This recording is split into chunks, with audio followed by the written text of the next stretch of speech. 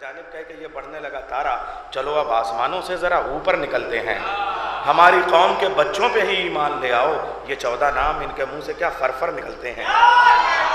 ہماری قوم کے بچوں پہ ہی ایمان لے آؤ۔ یہ چودہ نام ان کے منہ سے کیا فرفر نکلتے ہیں۔ گراف ایجنسی کے ذریعے سے یہ جشن ریکارڈ کیا جا رہا ہے۔ میں تمام شعراء کرام سے گزارش کروں گا کہ وہ ڈائس پہ تشریف لے آئیں۔ جناب سلیم مظفر نگری صاحب، جناب خرم مظفر نگری صاحب، ہمارے سارے شعراء کرام تشریف لا چکے ہیں۔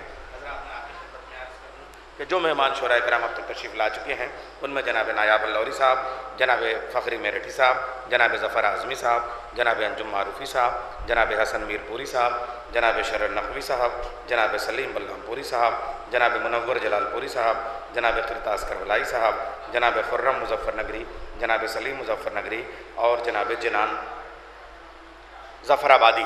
یہ شعراء کرام تشریف لا چکے ہیں لیکن غدیر کی محفل اس وقت تک شروع نہیں کی جاتی جب تک جو لوگ آگے چلے گئے ہوں ان کو واپس نہ بلا لیا جائے جو پیچھے رہ گئے ہوں ان کو آگے نہ بلا لیا جائے جو باہر ہوں ان کو اندر نہ بلا لیا جائے جو کھڑے ہوں ان کو بٹھا نہ لیا جائے جو چپ ہوں ان سے نعرہ حیدری نہ لگوا لیا جائے۔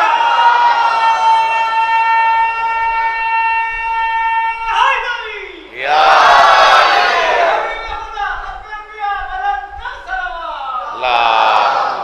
صلی اللہ محمد علیہ محمد۔ ڈاکٹر خابر اور اطہر صاحب موجود ہیں، مگر یہ یہ دونوں کو کمبینیشن ملائیں گے انشاءاللہ، اور یہ جشن بہت کامیابی سے آگے بڑھے گا۔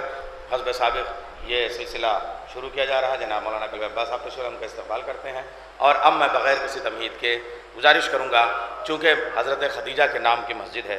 بی بی زہرا حدیث کے ساتھ یعنی بزم عصمت کی صدارت کرنے والی شہزادی کونین کے ذکر سے جشن شروع ہوا ہے۔ تو پھر بی بی زینب کے حوالے سے چار مصرے میں پڑھ کے خطیب کو آواز دیتا ہوں کہ پڑھ کے نہج البلاغہ اور قرآن، پڑھ کے نہج البلاغہ اور قرآن، لوگ اچھے ادیب ہوتے ہیں، تیرے خطبوں کا فیض ہے زینب، آج ہم میں خطیب ہوتے ہیں۔ تیرے خطبوں کا فیض ہے زینب، آج ہم میں خطیب ہوتے ہیں۔ حجت الاسلام والمسلمین علی جناب مولانا سیب الحسن صاحب میر پوری سے گزارش ہے کہ وہ تشریف لے آئیں۔ علی جناب، قبلہ و کعبہ، مولانا وسیم صاحب سے گزارش ہے۔ وسیم رضوی صاحب بھی ڈائز پر تشریف لے آئیں لا حول ولا قوة إلا بالله العلي العظيم أعوذ بالله من الشيطان اللعين الرجيم بسم الله الرحمن الرحيم الحمد لله رب العالمين الذي نور قلوبنا بشواء أنوار المحبة العلوية وجعلنا من المتمسكين بولاية المرتضوية الذي فرض الله مودته على العربية والعجمية والصلاة والسلام على مبلغ رسالات الإلهية مولانا وسيدنا أبي القاسم محمد. الطاهرين المعصومين، المظلومين، ولعنة الله على أعدائهم أجمعين. أما بعد، فقد قال رسول الله صلى الله عليه وآله وسلم، يا علي، أنت بمنزلة الكعبة.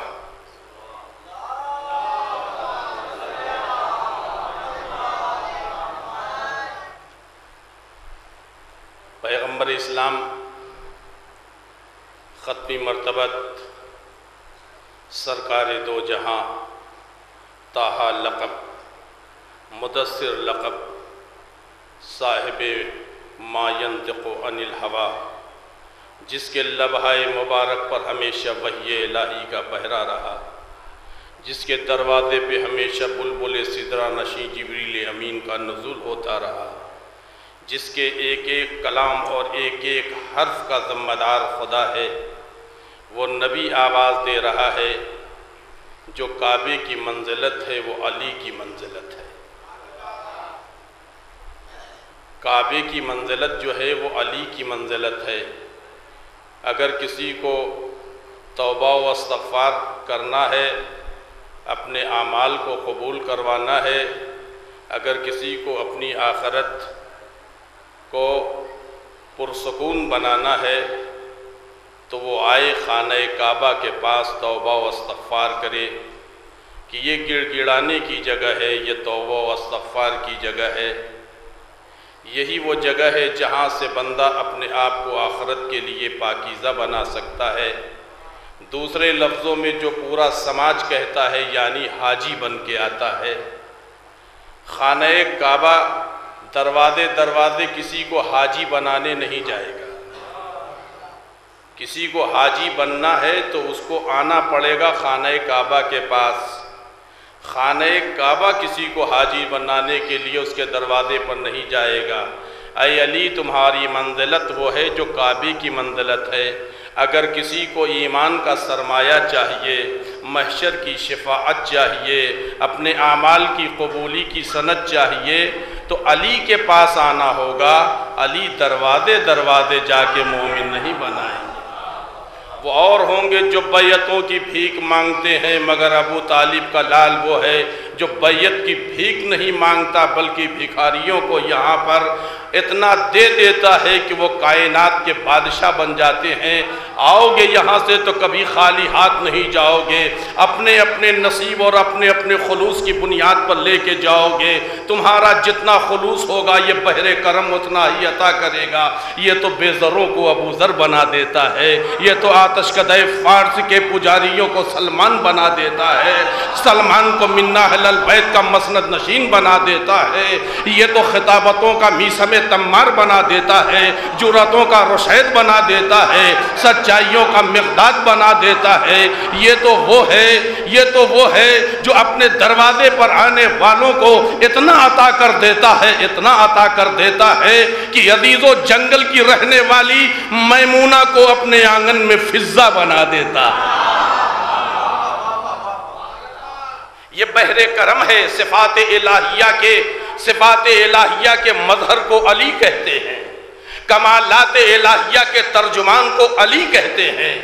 عزیزان گرامی، گلشن نبوت و رسالت میں بکھرے ہوئے کمالات اور خصوصیات و فضائل کریمہ کو خدا نے جب ایک ذات میں جمع کیا تو اس کا نام رکھا علی ابن ابی طالب۔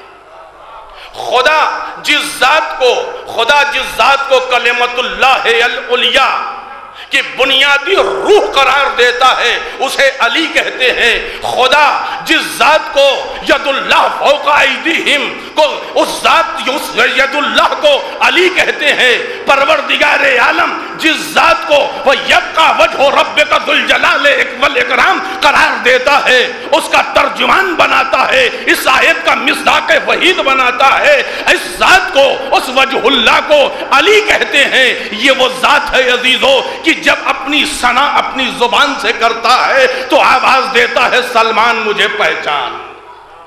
سلمان مجھے پہچان، ظاہر سی بات ہے، کل ایمان کو پہچاننے کے لیے سلمان کا ایمان چاہیے۔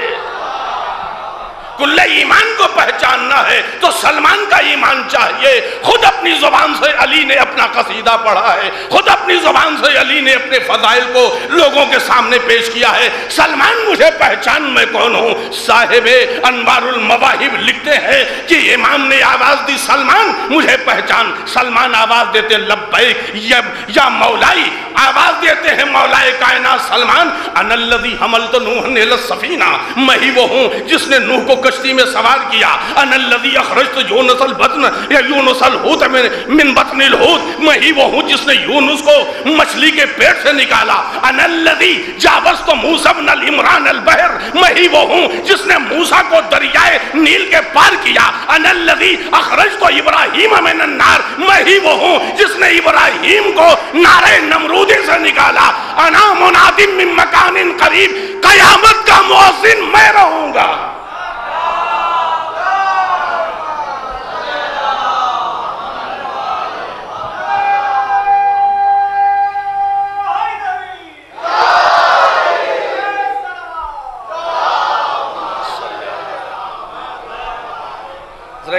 ایک بابا دیوان سلوات آپ حضرات پڑھ دیں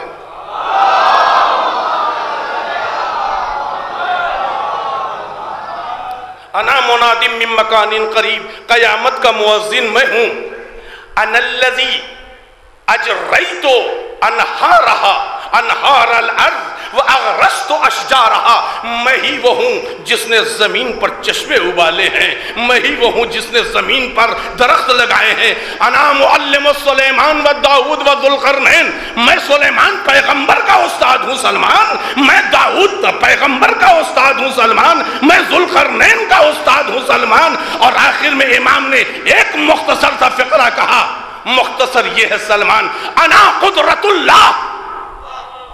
میں اللہ کی طاقت ہوں۔ میرے آقا اپنے ان کمالات کو بیان کرنے کے بعد آپ نے قدرت اللہ کہہ کے توحیدی مزاج کی آبرو بچا لی۔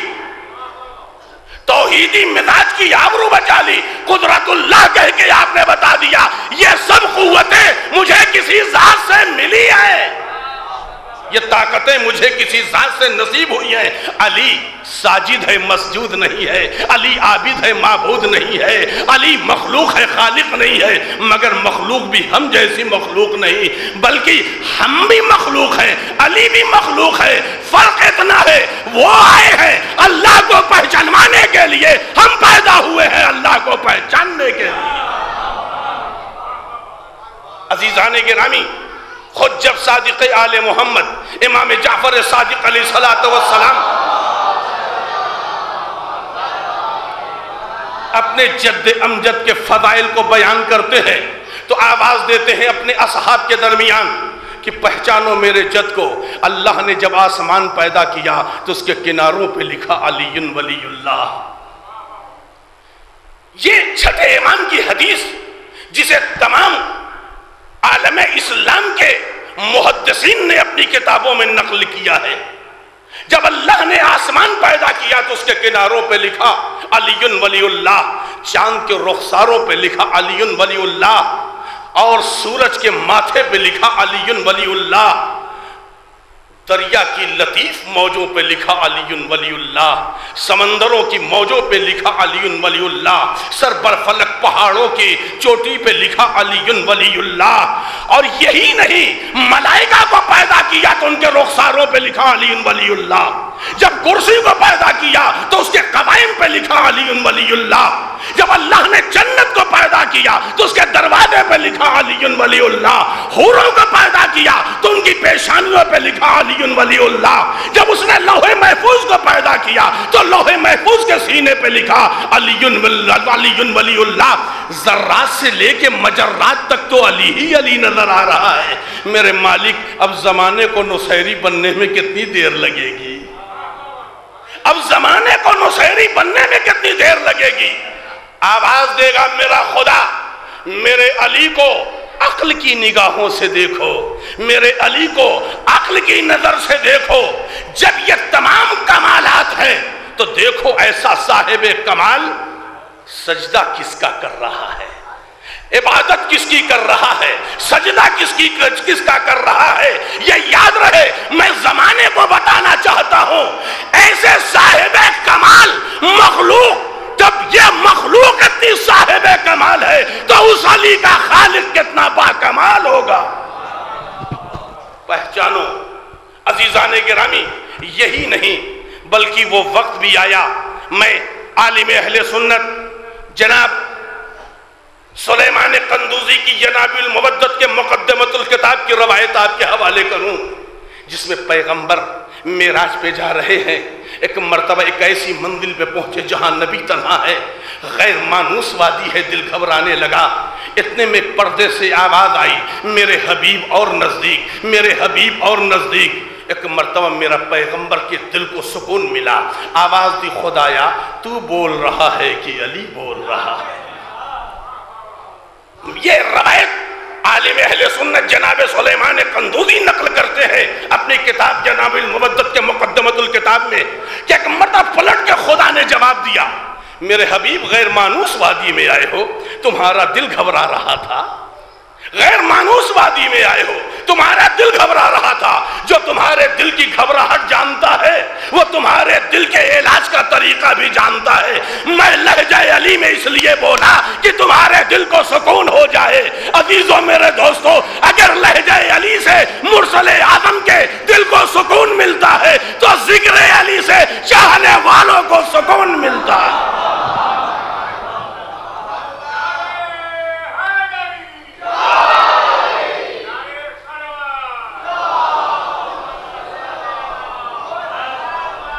عزیزان گرامی، پیغمبر کو روایتیں کہتی ہیں، پیغمبر کو بار بار، دو بار، تین بار، روایت سات بار تک کی ہے۔ پیغمبر واپس ہوئے، پلٹ، پلٹا پلٹا کے پیغمبر کو آواز دی، خدا نے میرے حبیب ولایت علی بھول نہ جانا۔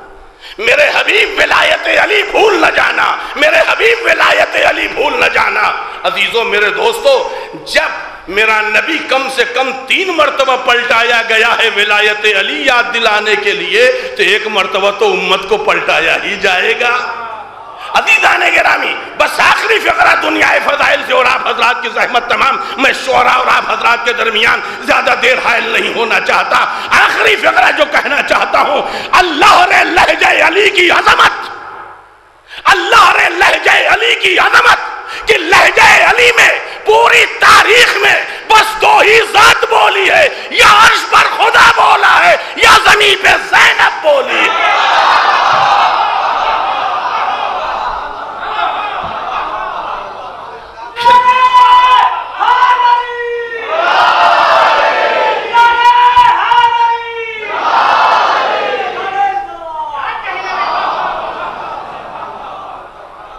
مولا کائنات، خدا نے اپنے درمیان، اپنی ذات تک، اپنے تقرب تک، اپنے تقرب کے لیے، پہنچانے کے لیے ایک ایسا وسیلہ بنایا کہ جو خود بھی معصوم ہے، اولادیں بھی معصوم ہیں، یہی نہیں بلکہ اس کی ولایت بنیادی شرط بن گئی۔ نہ تنہا اسلام کے لیے، نہ تنہا ہمارے ایمان کے لیے، پیغمبر اسلام کی تیئیس سالہ خدمات کے لیے۔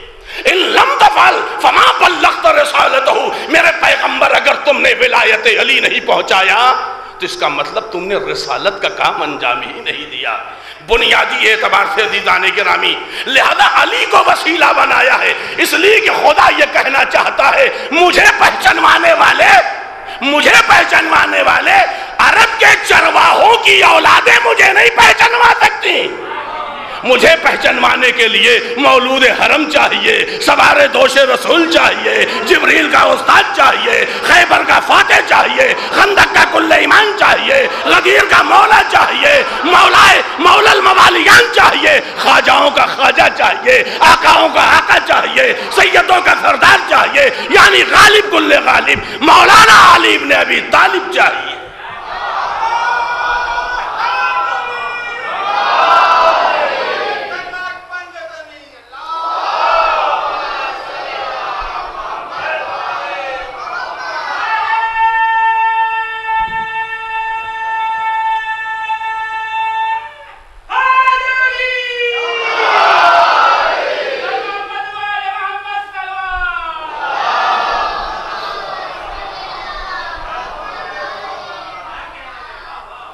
گرامی۔